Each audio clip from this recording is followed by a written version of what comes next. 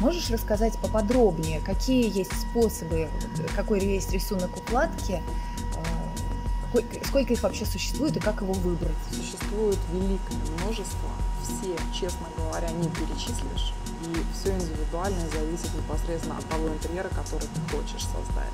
Потому что бывает, как мы с тобой уже обсуждали, прямая укладка, диагональная укладка, елочка французская, это когда плашки запилены под 45 либо под 60 градусов.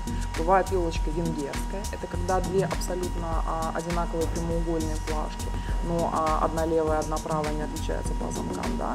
Это, грубо говоря, вот как в штучном паркете, например, часто используемая укладка. Бывает красивый, потрясающий художественный паркет. Это очень а, шикарно, это очень богато.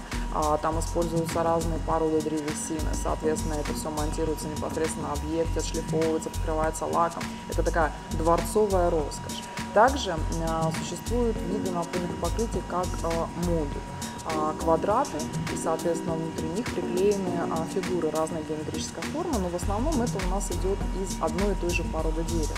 То есть, опять же, мы можем создать этими квадратами объем пространства.